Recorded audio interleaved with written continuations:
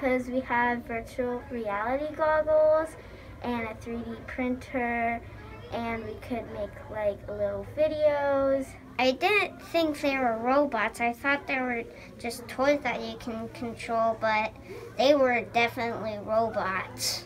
You can see machines that are built, robots that can move, and you can even make your own things. I would like to make my own little robot. It was pretty cool. I just saw the VR headset thing first, and then I, it looked pretty interesting to try. Well, I would say thank you because it's going to be really fun being in there creating all the stuff.